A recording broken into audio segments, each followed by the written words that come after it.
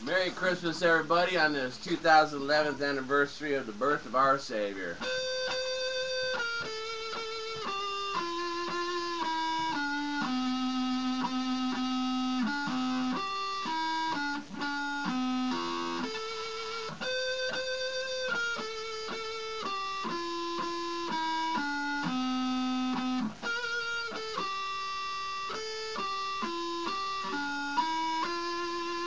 God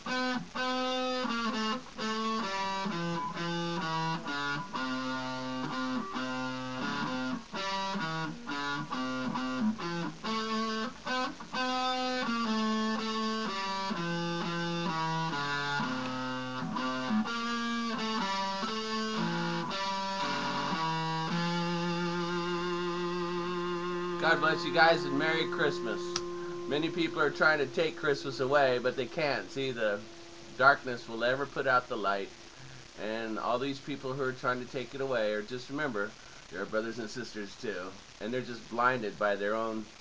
Um, I, it is ignorance, but I don't want to call them ignorant because they're not ignorant. Well, they are really because uh, ignorant means just unknowing of something. So I guess, yes, because of their ignorance, they're trying to take it away anyway, as like Jesus said, Father, they know not what they do, and that's what they're doing. Anyway, Merry Christmas, everybody.